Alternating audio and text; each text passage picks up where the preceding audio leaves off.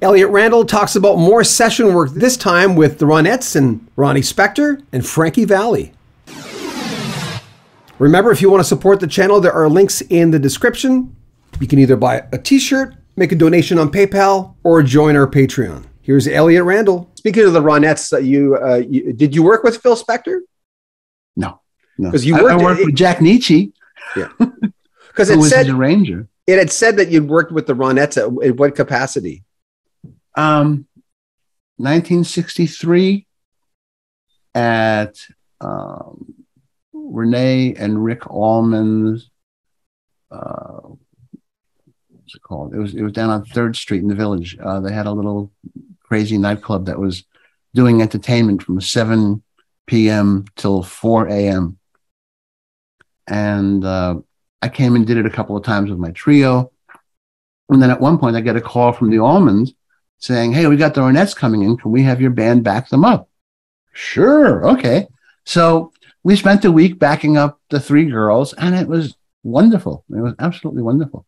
it Uh, was sort of my first taste of, you know, working with people who were on the verge of becoming stars. yeah, yeah. Uh, Uh, and I had a wonderful experience the week after that.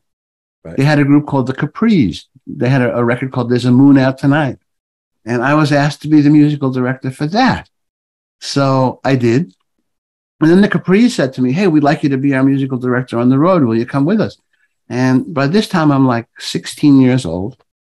And I'm breaking in, you know, who knew, right?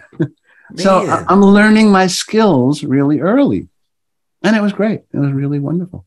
Uh, what was Ronnie like? Ronnie Spector. Um, I talked to Eddie Money a few months before he died, actually, Mhm. and you know when he did uh, uh, the duet with her, he says, "Yeah, she just basically was a housewife by then, and she's was- she did the little old me. What you want me, you know?" And Sure. Uh, sure.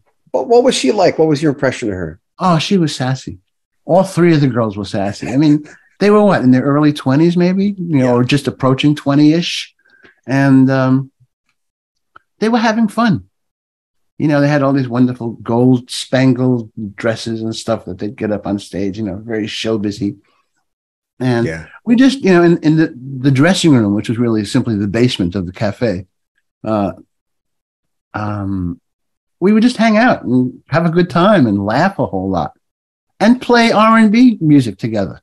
wow, yeah. Uh, Frankie Valli. Um, uh, what was that experience like? He's, he, to me, Frankie Valli seems like a character. Well, so does Paul Anka to me in some levels, but Well, Frank is definitely a character.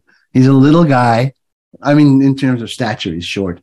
Um, and it sort of enters into his demeanor. Does that make sense? yes, I know what you mean. Um, but you know, he's got a he's got pipes. Man, this guy's got pipes. And um, I first met him back in the '60s. We were backing up a bunch of bands, and the Four Seasons were one of them. But that was just a, a quick occurrence.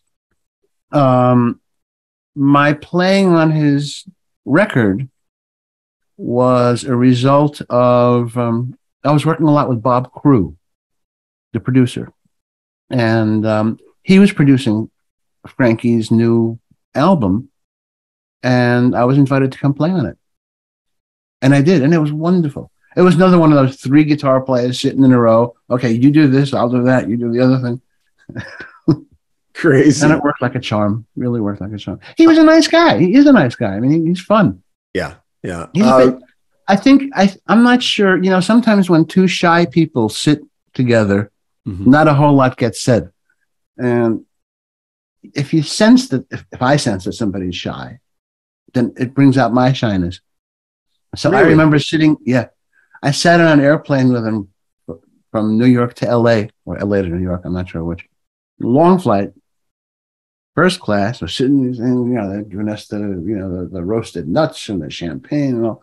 And I think if we spoke for 15 or 20 minutes during the entire trip, it was a lot but it, it was nice because we there was a nice feeling toward each other. Yeah, it's good to be comfortable to be silent. I mean, that's that's that's golden in itself.